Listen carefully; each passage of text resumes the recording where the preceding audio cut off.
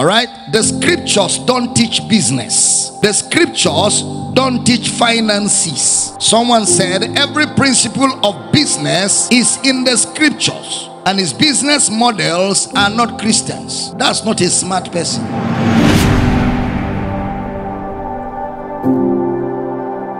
The seed in Genesis is not corn.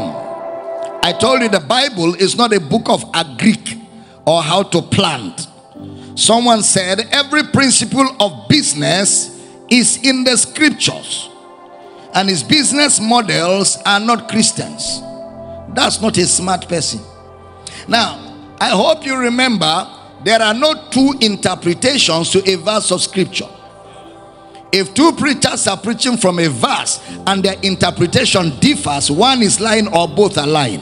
Which means what I'm teaching you here from Genesis chapter 1, any interpretation that is contrary to the interpretation we are having here now is a lie. This is God's intent.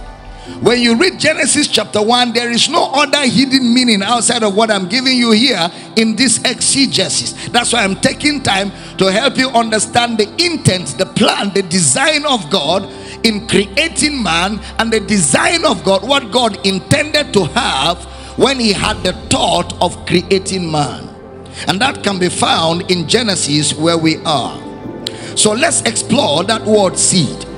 Like I said, the seed is not corn and the seed is not business.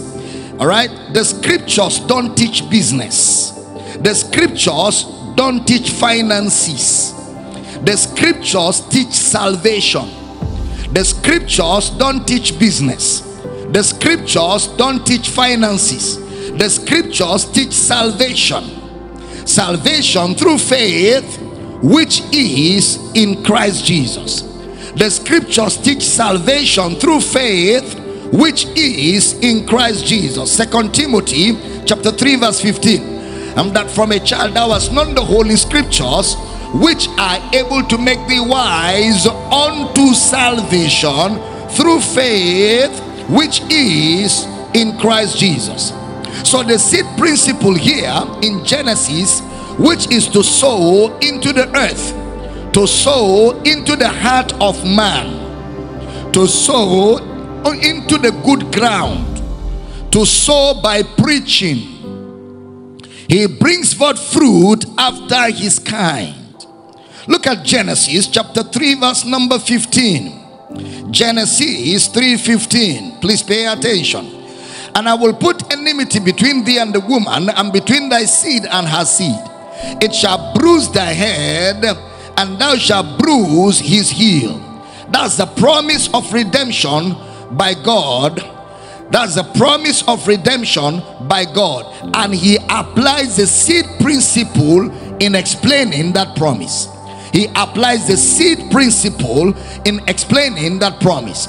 She shall bring forth a seed, and that seed shall bruise the head of the serpent. So, can we say that the seed of the serpent is darkness in Genesis 1 2.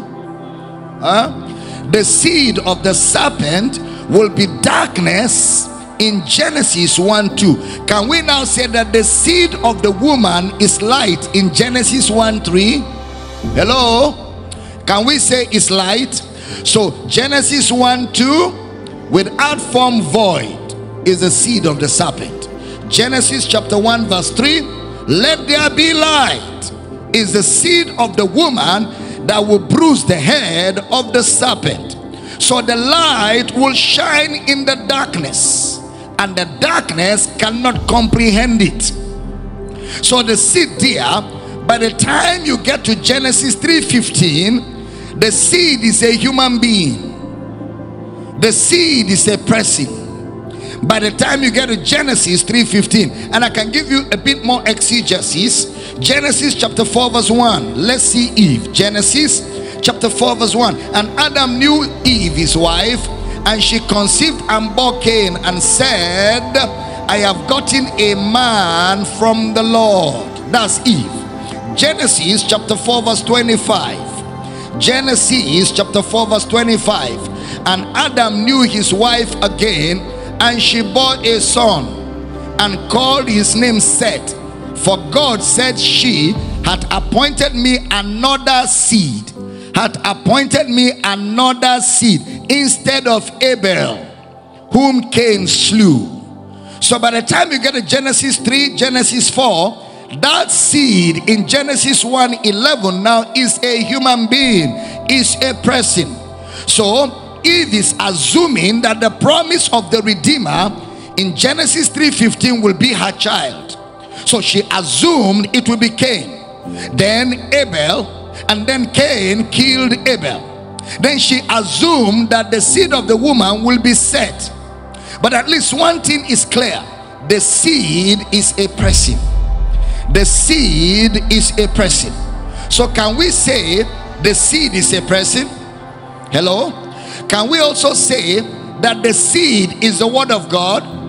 Hello? People are listening to your voices all over the world. I want you to respond like you have some strength.